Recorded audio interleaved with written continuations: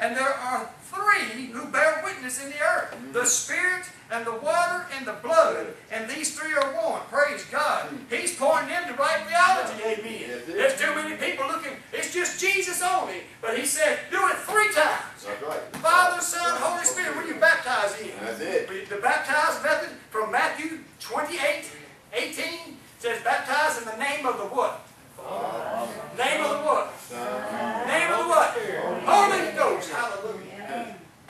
his name is Jesus. Amen.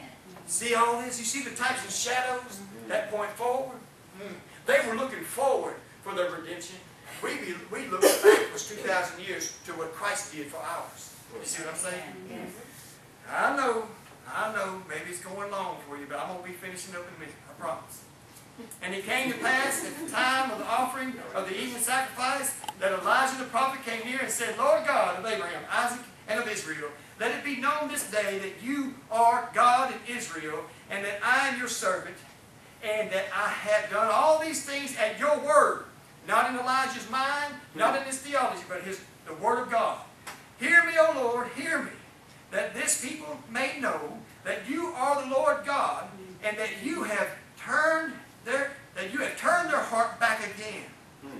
Then the fire of the Lord fell and consumed the burnt sacrifice and the wood and the stones and the dust and licked up all the water that was in the trench. Hmm. He not only consumed the burnt sacrifice, All right. consumed right there, Jesus died on the cross, hmm. but also he refines us by the fire.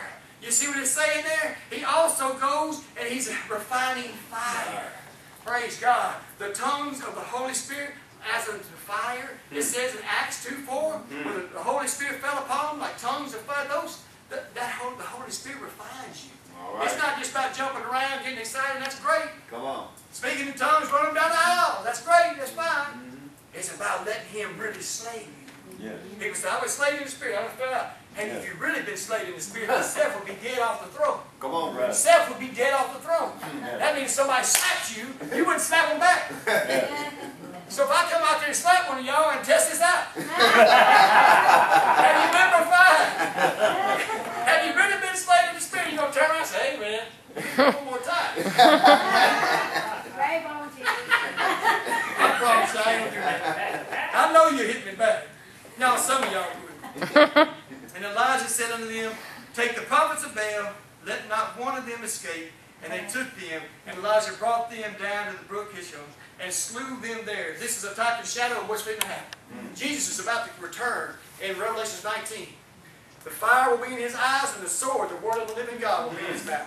He won't have to pick up no nuclear bomb. He won't have to pick up a tank and go through the, the neighborhood. All he's got to do is speak. And all the ones who prophesied falsely, all the ones that were enemies against him, all the ones that had a chance to repent and didn't repent, all the ones will be destroyed. All right. That's what it says. That's what Elijah's showing them. Not one is going to live past this. They have a chance right here. He gave them a chance and showed them, and guess what? The whole city. I might have skipped that part. Let me get there. Verse 39. And when all the people saw it, they fell on their faces, and they said, The Lord, He is the God. The Lord, He is the God. Hmm. They've seen, they've seen with their eyes. I'm telling you, the Lord is showing Himself strong to you right now. He's shown you great and mighty miracles in your life. He's shown you that in His name, Jesus Christ, there is power. You know that He is God. So it's time Amen. that we allow Him to sanctify us and make us righteous. Mm, Amen. Praise God. Amen. I'm going to read these three scriptures and we're going to put the music on. Y'all ready? Amen. Isaiah 24, 1 through 3. Behold, the Lord maketh the earth empty, and maketh it waste, and mm. turneth upside down, and scattereth abroad the inhabitants thereof. And it shall be as with the people, so with the priest, as with the servant, so with his master, as with the maid, so with her mistress, as with the buyer, so with the seller, as with the lender, so with the borrower, the taker of usury, so with the giver of usury to him. The land shall be utterly empty, and utterly spoiled, for the Lord hath spoken this word. Amos 4, 12 through 13. Therefore thus I will do unto thee, O Israel, and because I will do this unto thee, prepare to meet thy God, hmm. O Israel. For lo, he hath formed the mountains, and created the wind, and declared unto man what is his thought, and that maketh morning darkness, and treadeth upon the high places of the earth. The Lord, the God of hosts, is his name. In Acts 2, 19 and 21. And I will show wonders in the heaven above, and signs in the earth beneath blood and fire and vapor of smoke. The sun shall be turned into darkness and the moon into blood before that great and notable day of the Lord come. And it shall come to pass that whosoever shall call upon the name of the Lord shall be saved. Yeah.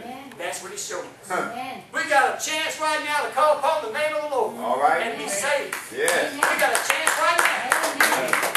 We got a chance right now to call upon the name of the Lord and come out of wickedness. Hmm. To come out of all kinds of stuff that may be in our hearts. And I'm going to turn this music on and give you an opportunity to do whatever you got to do. Some people just want to come and praise Him for the Word. Hmm. Some people got fed tonight. Come on. Some people got some issues issue of blood. Huh. Some people got issues. You can sell that issue by touching the hem of his garment. Huh. Glory.